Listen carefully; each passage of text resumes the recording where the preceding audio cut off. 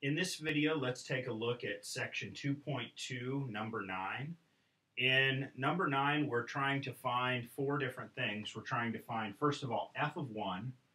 We're trying to find the limit as x goes to 1 of f of x. We're trying to find f of 0, and the limit as x goes to 0 of f of x, using the graph that we have right here. So first, let's take a look at part A, what's f of 1. f of 1 is asking us what is the point directly above or below the x value 1. So here's the x value 1, and we're saying, is there a point directly above or below the x value 1? Uh, there's nothing here. This is an open hole, so there's nothing above. Below, there is a point. It's at negative 1. So f of 1 is negative 1. All right, let's take a look at part B. Part B is asking us what's the limit as x goes to 1 of f of x. So as we come at the x value 1 from the left and from the right, are we getting close to something? If the answer is yes, this thing has a limit. If the answer is no, it does not.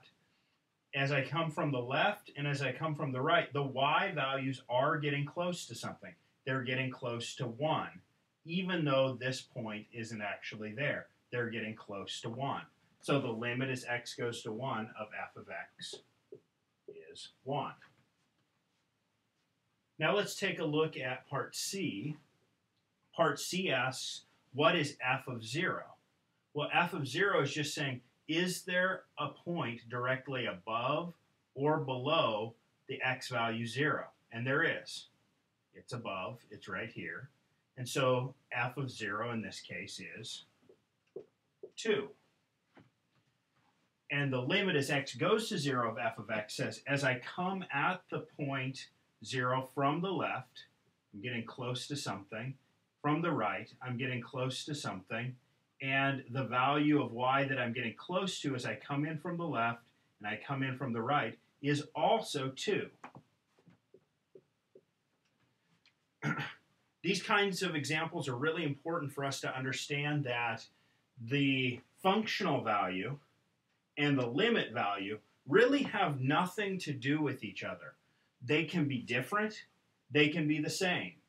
Uh, one is not tied to the other. So just because you know what something's functional value is, it doesn't really mean that you know what its limit value is.